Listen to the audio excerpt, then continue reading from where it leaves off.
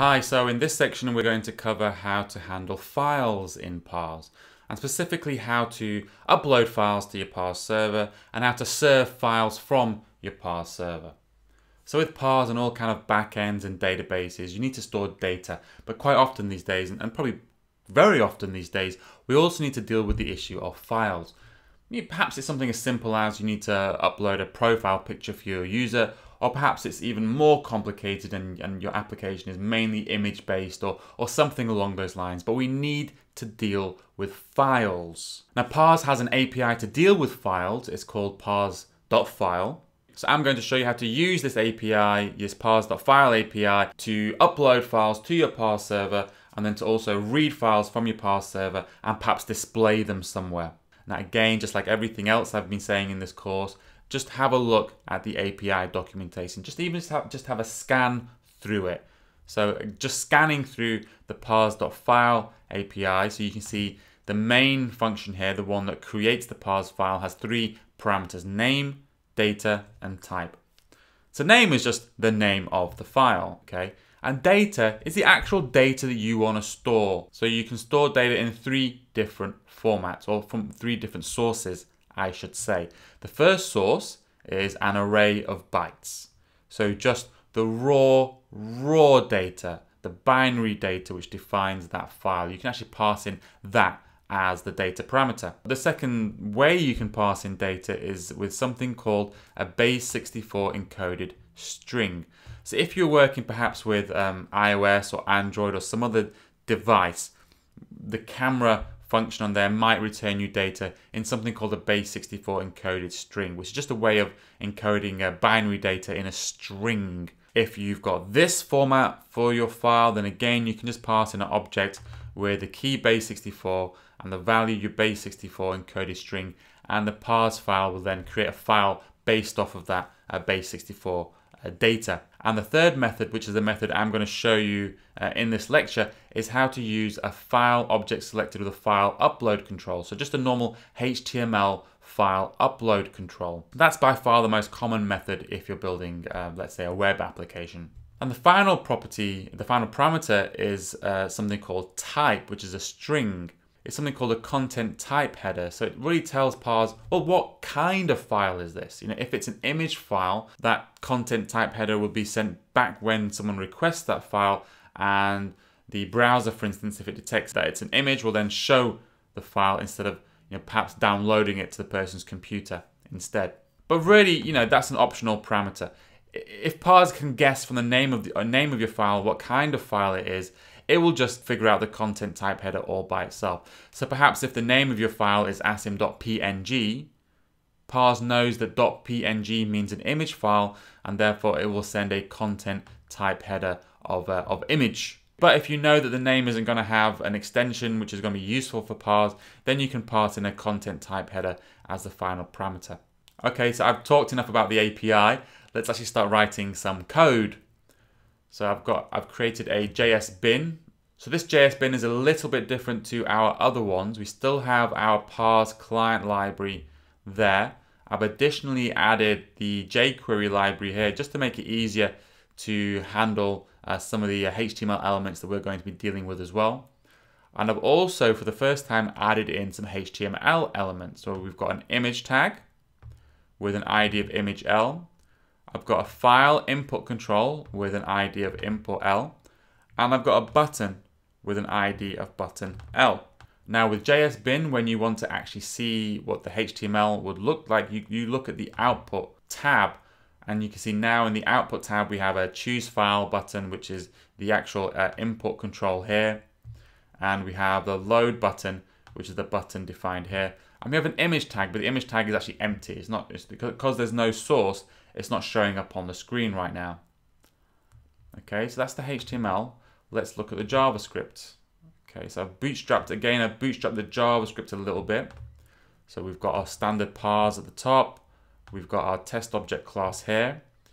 We've got line 6, which is a uh, way of working with jQuery. When jQuery has been loaded on the page, it will call this function here.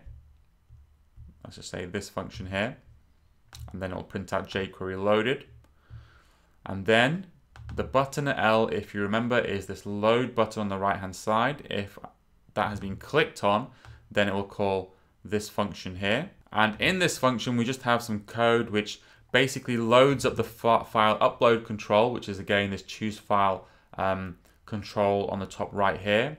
And if it detects that it has actually some files selected, it will then grab a reference to the file object itself. And from that file object, it will get the name of the file. So the file and the name. And for now, we're just console logging that to the screen. So this is just some bootstrap code. We haven't actually done any stuff with parse files so far in this code. This is just to, to, to get us started so we can start working with parse files. So now um, I also want to open up the console. Let's get some space. The right side. And here as well. Okay, let me uh, run with JS at the top and here we go. So now jQuery has loaded, so this, this line 7 it gets printed out. I'm going to choose a file. So I'm going to choose high 2. And then I'm going to click load. Okay. So you can see line 10, that console log was printed out because we detected a click on the button. And then we loaded up information about the file. And then on line 17, we printed out file uploaded and then the, uh, the name of the file .gif. So now we can see that this code on the screen is working. Let's actually start saving. Let's actually save this file to our parse server. So to do that, we create a file object. So let's call it parse file is equal to new parse.file and if you remember from the API, the first parameter is the name of the file. And the second parameter, well, we, we want to actually pass it the, uh, the reference to the file itself.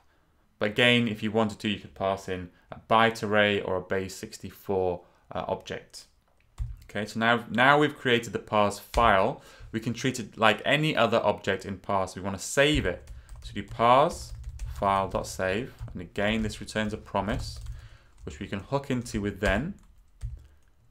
And what I want to do is I actually want to log out the URL of the file once it's been saved on the parse server. So this is the publicly accessible URL. This will only be valid, this will only be present once the parse file has actually saved on the parse server. So let's have a look and see what happens when we run this. In fact, let me refresh the page. We run with JS, choose a file. Let's choose this one. I'm gonna hit load. Let's wait a second. And there you go. Now you can see it's printed out a URL, which we can then copy. Ooh, let me try and copy that. Let me get some space here.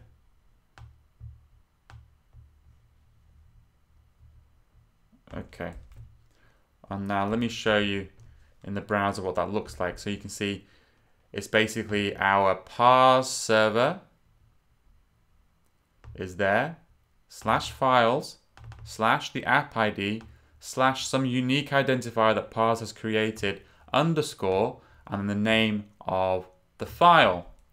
So now if I just view that, there you go. There's our GIF which I have uploaded to our parse server. To make this a bit more fun, what I can do is, um, if you remember, there was an image tag present in the HTML. So what I'm going to do is I'm going to set the source of the image tag to the URL that was provided by um, parse when we saved it. So I'm going to use just some jQuery to set that.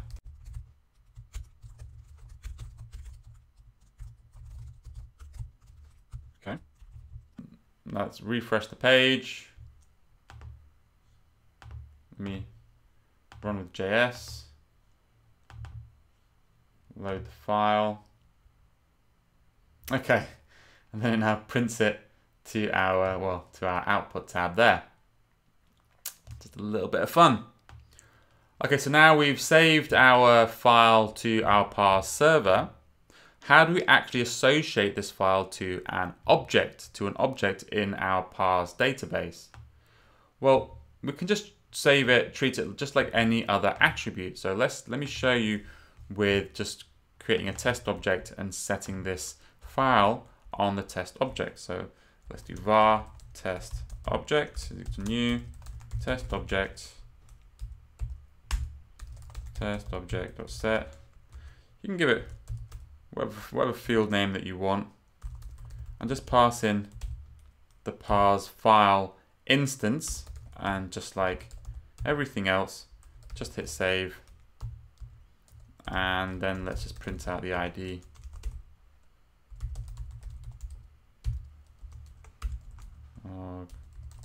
test object.id Okay, that looks good to me. Hit refresh. Run with JS, choose file. Hit load. Okay, so now it's created a test object with the ID 8NV. Let's have a look for that in our parse dashboard. Let's refresh. There you go, 8NV at the top. So if you scroll right, if you look at the parse dashboard, you can now also see that we have a column called funny, which is of type file. And inside here, we can actually click through and actually get, um, well, we can see the, uh, the GIF file that we've uploaded. So just like any other column or any other field, you can actually associate a file with any other uh, object in parse just by setting it, just by setting it, just, just the same way as you would set a string. And again, in the parse dashboard, because it knows this is of type file, if you double click any other field, you can upload a file directly from the parse dashboard and uh, save it, uh, save it there. So that's how you associate files with objects with uh, other classes in parse. The only key thing to remember is that the parse file has to be saved first before you can associate it with another object. Okay, thanks.